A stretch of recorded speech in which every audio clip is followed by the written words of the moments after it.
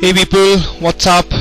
Uh, this is uh, HCG Diet Fan again, and uh, uh, it's been some time since I have uh, posted my last update.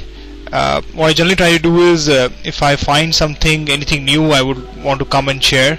Since YouTube community has given me so much, so you know, I think it's good if I can share more and I can get some comments from you guys too. So one thing which I did not see anyway mentioned too often, you know, and I thought was uh, very important for uh, uh, this protocol or any, in fact, any diet which you go for was three things actually. One was an HCG diet tracker, uh, uh, sorry, HCG weight tracker. Uh, what is you know, of course, the weight log. I'm sure you will be logging every day your weight you know most of people will generally you know use a like paper and pen you know or we just jot it down. That's the best way also. But uh, if you if you can go online uh, you know uh, there are lots of apps available. When I say apps uh, uh, okay I have a you know uh, an Apple iPad. Okay I thought I'll just show it to you. Okay. Yeah I'm being a big big show off here now but yeah okay.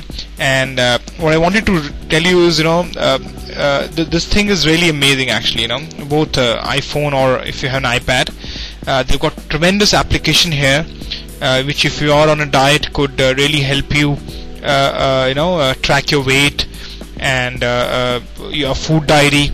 Okay coming back to three things in fact. One was a, is a weight tracker second is a food diary that is whatever eat stuff you eat in throughout the day is best if you can log it. And third is a calorie counter. Calorie counter is something which is you know a database of all the foods which you can just easily uh, enter and find out how much uh, calorie would uh, you know this food have and you know how much portion so that you can have accordingly.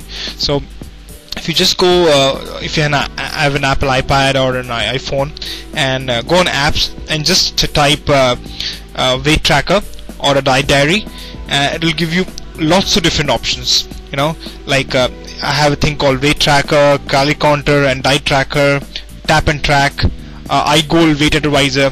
Most of them are free or they're just a couple of bucks something you know at max but but they are really helpful you know. Uh, uh, uh, you know if uh, it, they show you some decent graphs of how your weight is losing what have you been eating your calorie you know charts. So I don't know how much if you're able to see it here uh, you know uh, I'm sure you won't be see much but you know there are a lot of these apps. You could really use all of them or any of them if you you know uh, whatever you prefer. And uh, uh, uh, uh, it will be great actually you know. Uh, you'll, you'll, it'll nice pretty nice. You could post from here to Facebook if, if you're losing you know your weight and you want to tell your friends. So uh, this is nice you know. Uh, give this a shot and hopefully uh, it will help you uh, uh, with this diet. Alright thank you guys. I thought I'll update you on this